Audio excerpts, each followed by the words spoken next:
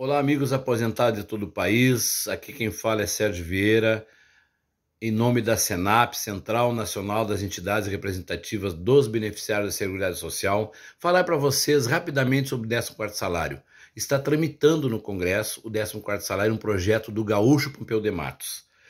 Pois ontem, de forma vergonhosa, alguns deputados, numa comissão trancaram a tramitação desse projeto, dizendo que esse projeto tem que ser encaminhado, que o ministro da Economia, Guedes, faça avaliação para liberar. Amigos, estamos há dois anos de pandemia. O governo não designou um centavo para os aposentados. Pelo contrário, estamos chegando a 610 mil mortes pelo Covid, sendo desses 432 mil aposentados beneficiários que eram do benefício, tinham benefício do INSS como aposentados ou pensionistas.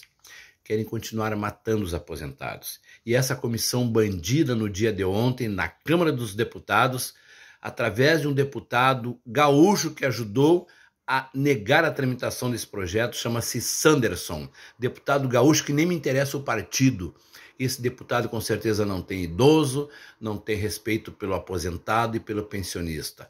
Nós haveremos de vencer essa batalha. O governo designou, durante a pandemia, para 60 milhões de pessoas ajuda emergencial e para o aposentado, nada antecipou o 13º para resolver o problema da economia em 2020, antecipou o 13º para resolver o problema da economia em 2021 e agora se nega a nos dar aquilo que é de direito, o 14 salário. Já fazem dois anos que os aposentados sequer têm um Natal digno de comer pelo menos um peru com a sua família, ou comer um pão e tomar um leite ou comer uma carne.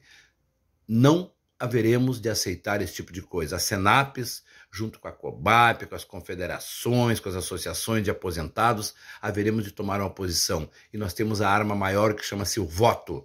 E esse deputado gaúcho Sanderson está marcado na paleta, como se fala aqui no Rio Grande do Sul.